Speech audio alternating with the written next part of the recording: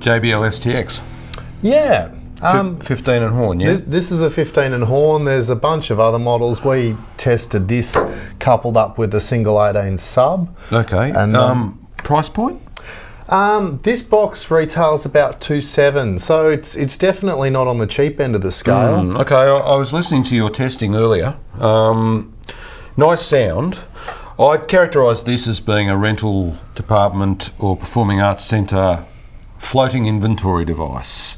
Certainly not at the top end, Yeah, I think that's probably fair. but Uh, it's not MI cheap, no, disposable. It's, it's none of those things. no. Look, it's it's the, What's the- um, you know, we the, obviously the geography of this is wedge or top box. Yeah, yeah, where's your top box? And, and look, if you're using it in a top box configuration, it's got the NL4s on each end. So if you're pole mounting it on the end, um, the NL4 just clips in basically to the socket straight behind the pole mount. Mm. Yeah. So it's tidy, you know, it's going to look nice in a corporate situation. there's a nice recessed NL4 plate here with the biamp passive switch, and yet on that side where the pole mount exists, the NL4 is not flush mount, surface yeah. mount.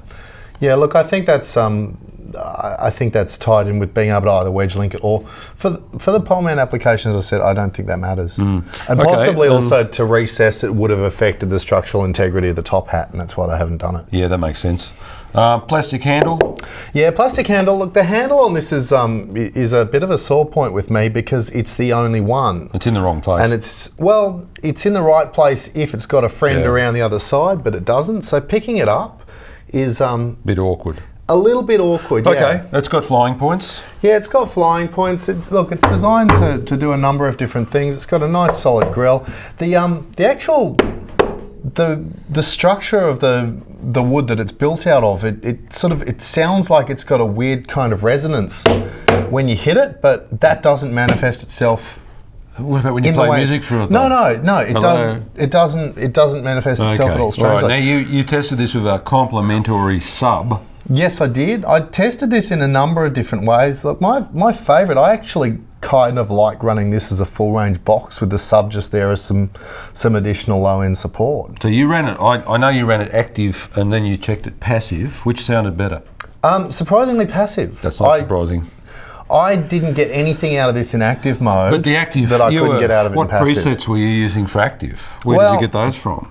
The uh, the presets technically don't exist for this yet Right, because there you it's go. still So you new. were making up one of your wonky, dodgy. no, actually, I called up the preset for the predecessor to this in the 700 the Jimmy series. dubstep preset? Oh, shut up. Um, I don't like your presets. Well, you you haven't heard my presets. You haven't heard my presets. No, I don't want my ears broken. Um, but no, look, the, the interesting thing about this, uh, in passive mode, straight out of the box, there, there's. Whereas characteristically, I found JBL stuff seems to be a bit peaky around sort of the 3K region in the past. This doesn't have that, but it does seem to. It, it's like they've shifted the peak downward a little bit. It's around about 900 hertz. It's probably your But- hearing that shifted downward. Oh, whatever you reckon. But no, look, pull one little notch out, and um, and it's very very polite as, as a Mm. monitor, and, and it's very nice as a as a cabinet for playback or you know Yeah. live. Tough and professional. Yeah, definitely. JBL. And I think you can definitely stick a lot of power into these things without causing them any undue harm. Well, we like that. We do indeed.